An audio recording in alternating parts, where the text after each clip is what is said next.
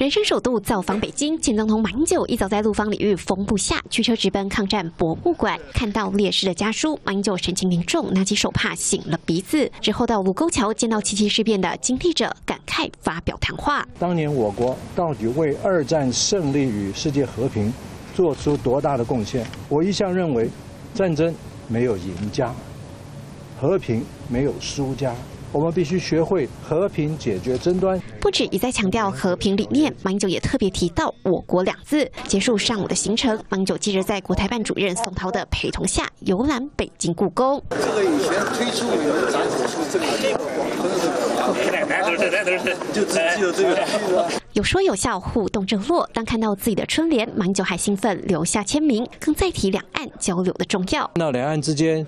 有更多文化交流，是任何刻意为之的手段或应试习探所切不断的。任何所谓去中国化的行径都不会成功。唯有回归民族情感与中华文化，两岸才能长长久久。行程满档的马英九接着前往北京饭店，和大陆副国级领导人、北京市委书记尹力共进晚宴。长期以来，马先生坚持“九二共识”，反对台独，为推动两岸关系。和平发展，深化两岸交流交往。马英九这趟赴陆主打和平宗旨，外界关心的马习二会传出将在十号登场。虽然当前两岸局势紧绷，但是双边人民都在答复提及了马英九的总统身份。马总统来自台湾，总统好。台湾的前总统吗？他的印象 OK。